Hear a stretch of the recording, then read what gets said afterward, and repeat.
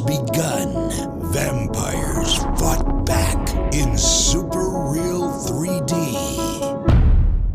The Canon EOS R5C, how flexible the raw data is if I push it in the color grades. So I went for some really extreme color grading looks. This is more like something that you would do in a music video or some dream sequence or some, you know, outer space movie or whatever. But these are just average shots filmed outside and then just seeing where I could get the colors to start to get them all the way to the edge of breaking without breaking. And these are the results that I got.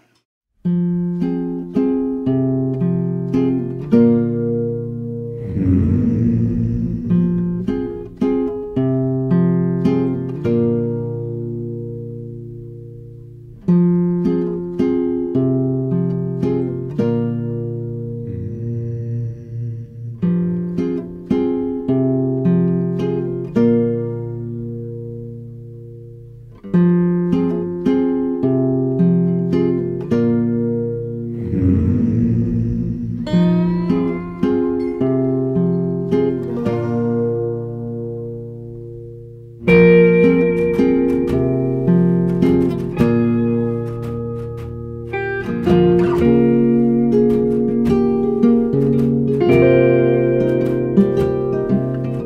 you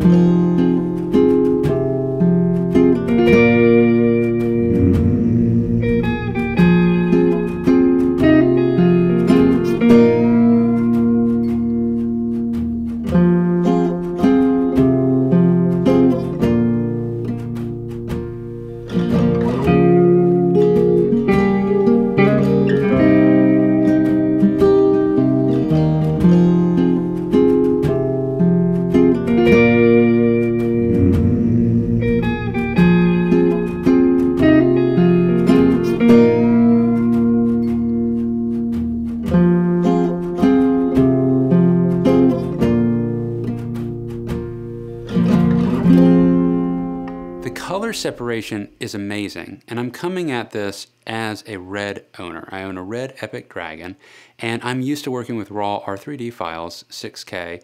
Um, these are 8K files, and that size difference is amazing. It's something to talk about in itself. But the color the 12-bit color seems to be just as flexible as the 16-bit color that I'm getting with the RED. It just it feels like I have just as much control over each isolated color. It's absolutely amazing. I'm, I'm really impressed that this little camera can produce this kind of flexibility in its codec that it's recording internally. Movie voice